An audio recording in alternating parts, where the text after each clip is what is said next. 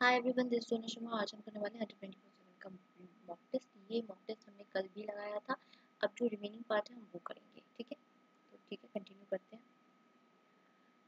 ये पजल हम कर चुके हैं। ये कोडिंग डिकोडिंग भी हो गया है और ये मंथ बेस्ड पजल भी हो गया है, ठीक है? Date and month okay so अब आया है इनक्वालिटी का क्वेश्चन इनक्वालिटी में सबसे पहला हमारा जो काम होता है, वो यही होता है कि कंक्लूजन पे डायरेक्ट आ जाइए।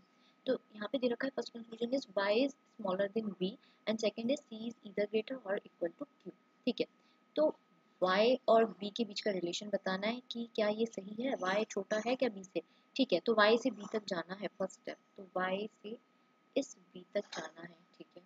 सेकंड स्टेप हमारा होता है रिलेशन इसमें पॉसिबल है भी या नहीं? क्या हम फाइंड आउट कर सकते हैं कि कौन बड़ा कौन छोटा या कौन बराबर? ठीक है तो उसके लिए हमें क्या करना होता है बच्चों? सेकंड स्टेप में हमें देखना होता है कि ये जो सारे साइंस है ना, ये जो सारे साइंस दे रखे हैं, ये सब एक ही डायरेक्शन में देख रहे हैं क्या? ठीक है? एक ही डायरेक्शन में देख रहे हैं। देखते हैं, चलिए। ये इस साइड देख रहा है, ये इस साइड देख रहा है और ये भी इस साइड देख रहा है। हाँ तो ये सब एक ही डायरेक्शन में देख रहे हैं। इट मीन्स रिलेशन हो जाएगा पॉसिबल ठीक है? अब थर्ड स्टेप हमारा रहता है प्रेफरेंस ऑफ़ साइन तो प्रेफरेंस देखेंगे अब साइन की। तो जब भी आपको अगर ये मिल रहा है, ये मिल रहा है और ये मिल रहा है तो इसमें आप किसको प्रेफर करेंगे? हमेशा इसको। क्योंकि हम इसे सबसे पावरफुल मानते हैं, ठीक है?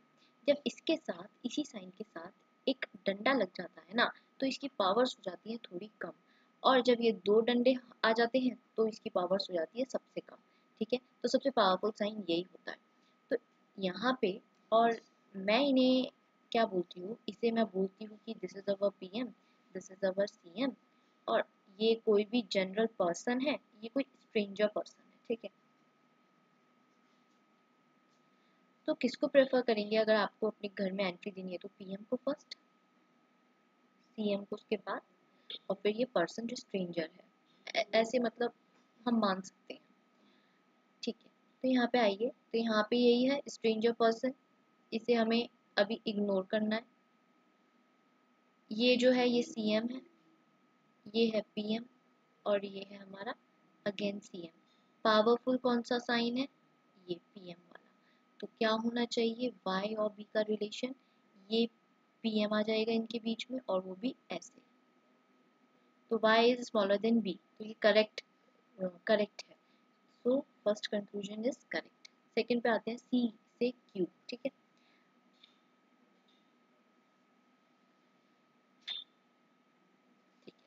First one is correct second C से क्यू तक जाना है। अब सी कहाँ दिख रहा है? सी यहाँ दिख रहा है। क्यू कहाँ दिख रहा है? क्यू यहाँ दिख रहा है। और इन ये एक स्टेटमेंट है। यहाँ पे कॉमा है और ये दूसरा स्टेटमेंट है। अब इन दोनों स्टेटमेंट को हमें जोड़ना है।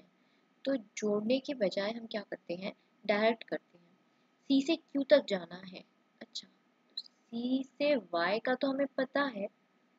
इट मीन्स हो सकता है ये y रिलेट करा दे हमारा c से q का रिलेशन ठीक है? तो y देखते हैं, कहीं मिल रहा है कि हाँ y इस स्टेटमेंट में मिल गया। So c is greater than y और y से हमें अब q तक जाना है। तो यहाँ से q तक जाना है।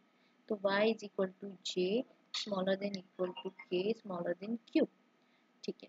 C से अब q तक जा सकते हैं। पहला फ़र्स्ट जो होता है वो फॉलो हो गया। सेकेंड स्टेप हमारा क्या होता है? रिलेशन पॉसिबल है भी या नहीं? तो हम देखेंगे, ये इधर देख रहा है, इसको तो हम इग्नोर ही कर देते हैं, और ये ऐसे देख रहा है।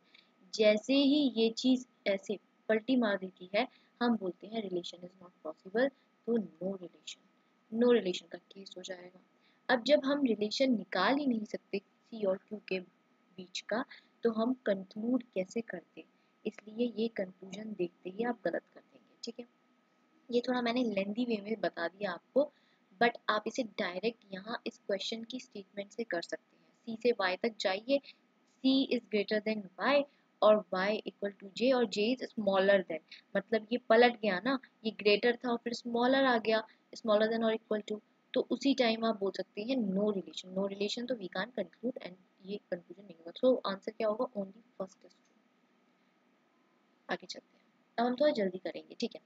कंक्लूजन पे आ जाइए। A is greater than Q okay अब ए कहाँ दे रखा है? यहाँ। ये एक स्टेटमेंट है, दो स्टेटमेंट दे रखी है। एक ये और एक ये। और बीच में कॉमा लगा रखा है। ए से क्यू तक जाना है, ठीक है?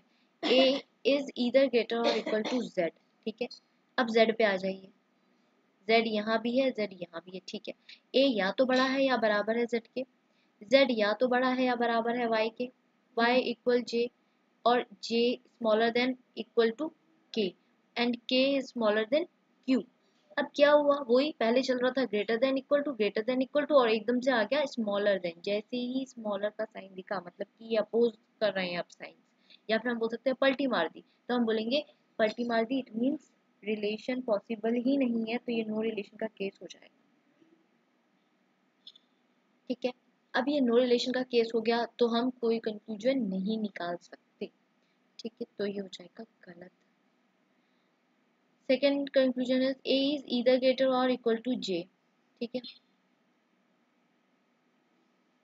ए से जे तक जाना है तो ये ए है और जे कहीं यहाँ पे है। ठीक है? तो एक काम करते हैं, एक ऐसा एलिमेंट देख लेते हैं जो रिलेट करा दे इन दोनों स्टेटमेंट को। तो ए इज़ ग्रेटर देन और equal to Z Z is greater than and और equal to Y Y is equal to J ठीक है? तो क्या हो रहा है? हमें क्या क्या साइन मिल रही है? ग्रेटर देन और इक्वल टू ग्रेटर देन और इक्वल टू और एक बार इक्वल टू तो मैंने आपको अभी बताया था कौन सा पावरफुल साइन होता है? पहले ये, उसके बाद ये और उसके बाद आप इसे प्रेफर करेंगे। ठीक है? तो यहाँ पे हमें ये वाला साइन मतलब कि सी एम सी एम और ये स्ट्रेंजर पर्सन मिल रहा है। तो किसको करेंगे? सी एम को प्रेफर तो यहाँ पे आ जाएगा A should be greater than और इक्वल टू जे यही कंक्लूजन दे रखा है तो ये हो जाएगा बिल्कुल सही और फ़र्स्ट वाला हो जाएगा गलत। तो second conclusion is right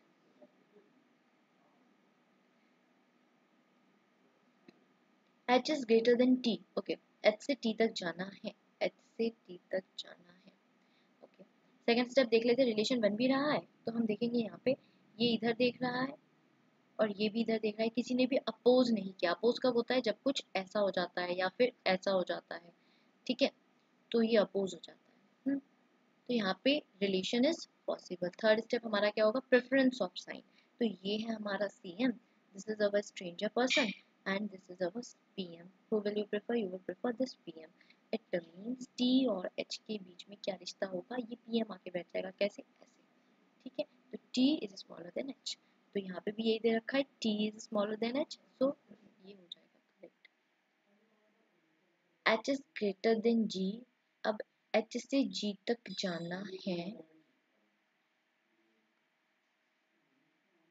तो एच अब यहाँ से यहाँ पे देखूँ तो जी तो दिख नहीं रहा, दूसरा स्टेटमेंट में दिख रहा है जी तो एक काम करते हैं, देखते हैं किससे रिलेट कर पाएँगे हम दोनों स्टेटमेंट को. एच इज़ ग्रेटर देन और equal to Z Z is equal to I और फिर आई हमें यहाँ मिल रहा है I is greater than G मतलब अगर मैं इसे लिखूँ तो ये कुछ ऐसे मिल रहा है आपको। एच इज़ ग्रेटर देन और equal to Z is equal to Y और आई के बारे में क्या बताया? I is greater than G ठीक है? एच से जी तक जाना था। फ़र्स्ट वाला तो करेक्ट था हमारा। अब एच से जी तक जाइए। सेकेंड स्टेप होता है रिलेशन देखिए, ये इधर देख रहा है, ये भी इधर देख रहा है रिलेशन पॉसिबल है। थर्ड चीज़ प्रेफरेंस ऑफ़ साइंस ये पीएम है, ये स्ट्रेंजर पर्सन है और ये हमारा सीएम है, ठीक है? किसको प्रेफर करेंगे? आप पीएम को करेंगे, क्या आ जाएगा? जी एच को लिखिए और पीएम बिठा दीजिए ऐसे करके।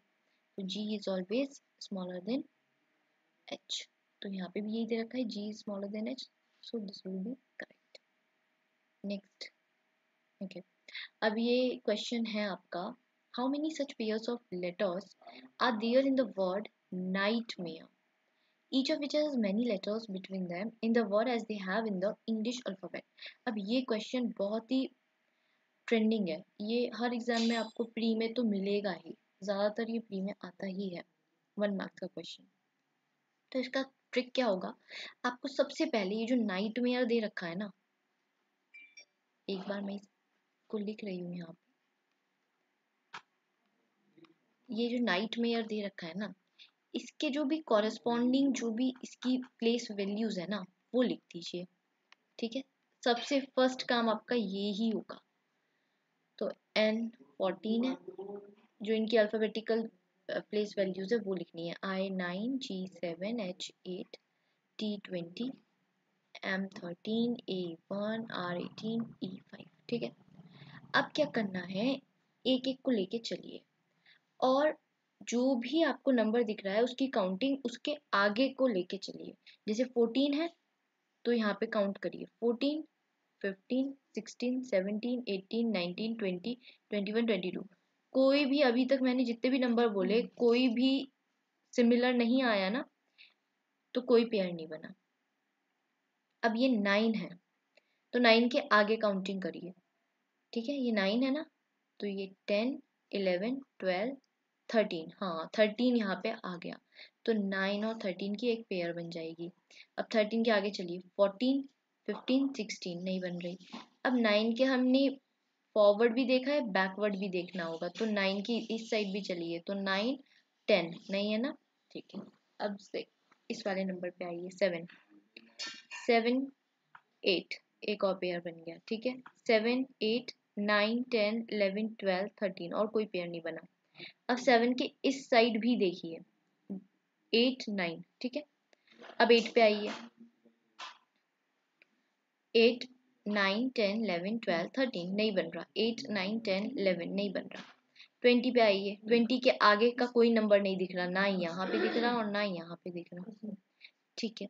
थर्टीन देख लेते हैं। थर्टीन का आगे का नंबर फोर्टीन फिफ्टीन सिक्सटीन नहीं बन रहा कोई पेयर थर्टीन के इस साइड देखिए, fourteen, fifteen, sixteen, seventeen, eighteen, कोई नंबर नहीं मिल रहा। वन का देखिए। वन, टू, थ्री नहीं मिल रहा। Two, three, four, five, six, seven नहीं मिल रहा। एटीन का देखिए, एटीन, नाइनटीन नहीं और eighteen, nineteen, twenty twenty one, twenty two कोई नहीं मिल रहा। तो बस दो पेयर्स बन रहे हैं। दो पेयर बन रहे हैं। तो यहाँ पे हम कर देंगे थर्ड ऑप्शन अब एक ये छोटी सी पजल है among P Q R S T each one of them of different heights S S taller than Q ठीक है? तो इसे साइड में, जैसे जैसे ये बोलते जा रहे हैं, वैसे वैसे इसे साइड में लिखते जाइए। S S taller than Q अब कितना टॉलर वो हमें नहीं पता बट एस की हाइट ज़्यादा होगी क्यू से मतलब क्यू के ऊपर कहीं हाइट हाइट वाइज अगर हम देखें, ऊपर हम उन्हें बिठाते रहेंगे जिनकी हाइट बड़ी है, और नीचे वो आते रहेंगे जिनकी हाइट छोटी है, ठीक है? Second sentences R is taller than P ठीक है? आर भी बड़ा है पी से मतलब पी के कहीं ऊपर बैठेगा। T is taller than only two person अब जैसे इन्होंने बोल दिया ना कि टी केवल दो व्यक्ति से बड़ा है तो उसी टाइम कितने व्यक्ति थे? टोटल कितने पर्सन थे? One two three four five five थे तो one two three two three four five अब टी बड़ा है केवल दो व्यक्ति से तो ये दो व्यक्ति छोड़िए और टी आ जाएगा। टी की पोजीशन हो गई confirm P is not the shortest अब P के बारे में ये बता रहे हैं कि P सबसे छोटा तो नहीं है and R is not the tallest और R सबसे बड़ा नहीं है। ठीक है। Who among them is the second tallest तो सेकेंड टॉलेस्ट मतलब सबसे बड़ा तो ये फिफ्थ वाला होगा तो सेकेंड टॉलेस्ट मतलब ये हमें फाइंड आउट करना है। ठीक है। तो अब आ जाइए इस इन्फो अब इसे वापस से हम नहीं पढ़ेंगे। ये दो इन्फॉर्मेशन हमने यहाँ पे नोट डाउन की थी, अब इस पे ही कंसंट्रेट करते हैं। ठीक है। इन्होंने पी के बारे में क्या कहा है कि जो पी है ना ये सबसे नीचे नहीं आएगा। तो कहाँ कहाँ आ सकता है? या तो यहाँ, या तो यहाँ। तो सबसे ऊपर नहीं आ सकता क्योंकि पी के ऊपर खुद आर है। ठीक है? ठीक है। अब पी अगर मैं यहाँ रखती हूँ तो पी के ऊपर आर की यही जगह बची, जबकि आर के बारे में क्या कहा है? आर फिफ्थ पोजीशन पे नहीं आएगा। मतलब पी यहाँ पे नहीं बैठेगा। तो पी की हो गई पोजीशन कंफर्म पी बैठेगा पक्का यहाँ पे ही। पी के ऊपर कहीं होगा आर तो ऊपर दो ही वैकेंट प्लेस है वैकेंट स्पेस है।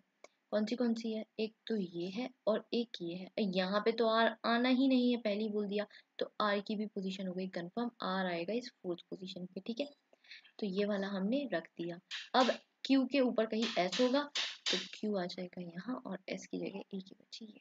तो हमारा क्या आ गया? S R T P Q तो सेकेंड टॉलेस्ट कौन है? R R be your answer